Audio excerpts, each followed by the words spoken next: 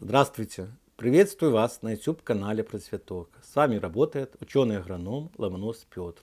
Вы заметили, что высевая, например, тот же редис, если вы сеете рано весной или во второй половине лета, редиски вырастают красивыми и сочными.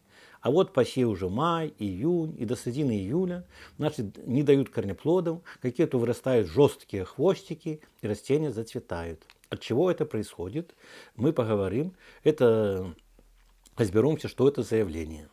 Так вот, все растения значит, э, адаптированы так, что каждое растение приспособилось к определенной длине дня.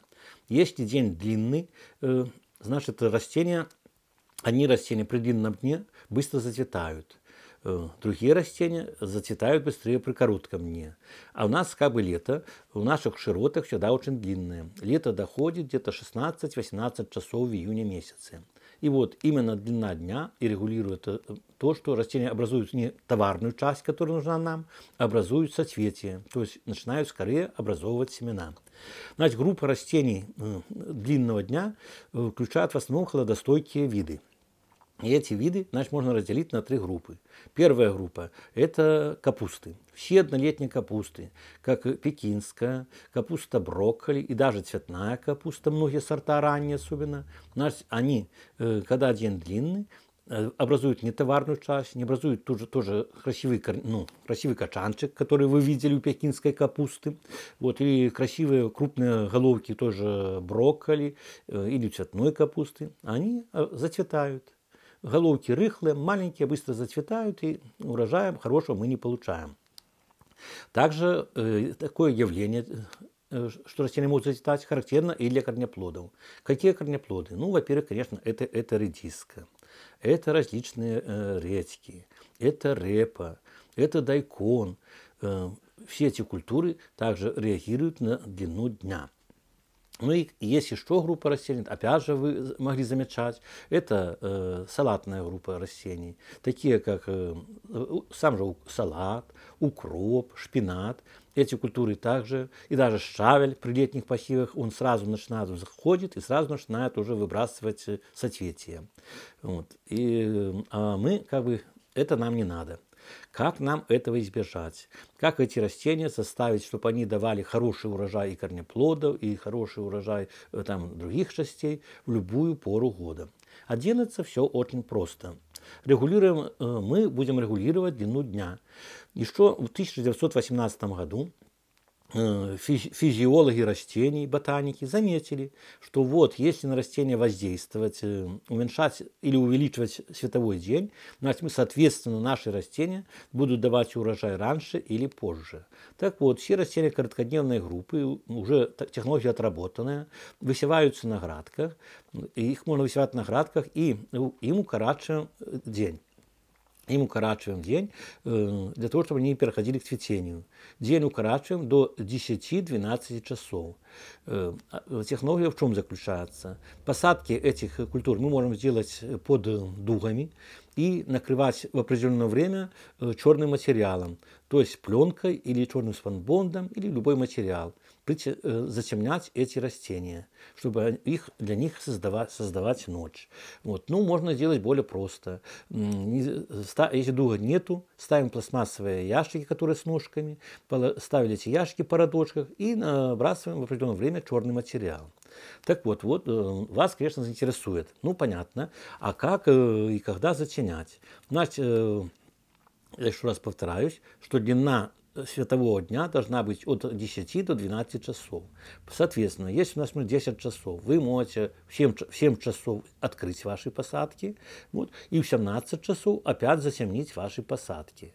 Вот. Если у вас такая, ну, по времени вы на работе где-то, ну, вы не успеваете. Делать 10-часовой день вы не успеваете. Потому что надо где-то доехать до работы, значит, вы тогда можете 12-часовой день э, накрывать растения. Так, и самое важное, что обратите внимание, укорачиваем световой день для, для растений э, в течение первых двух недель после всходов.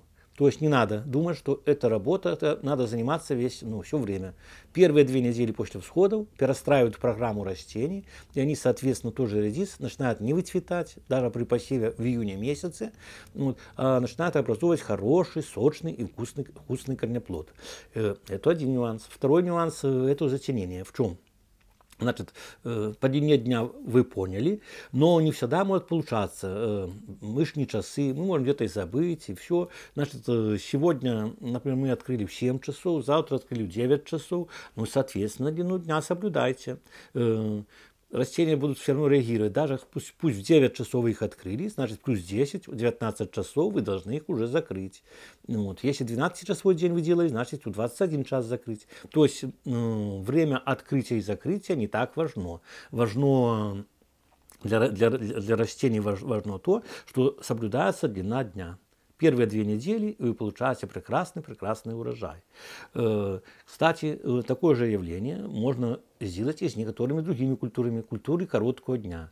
Например, баклажаны. Если баклажанам уменьшить световой день до 12 часов, но там просто уже технология другая.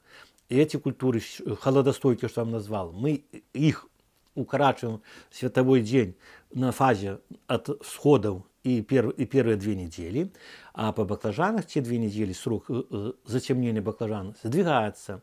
Когда им э, баклажанам исполняется 30 дней, то есть месяц после всходов, вот после этого две недели мы начинаем наши баклажаны затемнять. У баклажан э, световой день мы укорачиваем до 14, 12-14 часов. Мы укорачиваем. Что это нам дает?